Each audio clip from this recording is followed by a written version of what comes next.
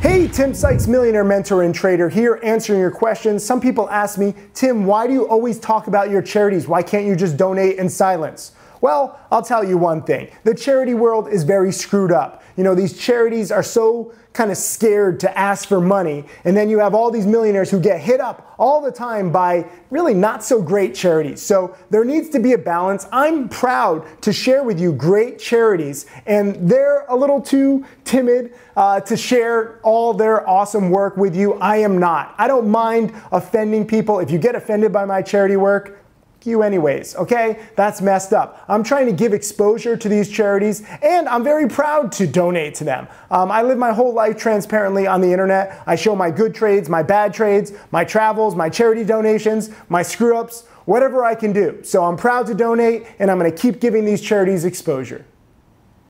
Hey, Tim Sykes, millionaire mentor and trader. Thank you for watching my videos. I hope that they help you. I want to share everything that I've learned over the years. You can check out more videos right over there. And also click subscribe so that you can watch all of these videos, get that knowledge, and become my next millionaire student.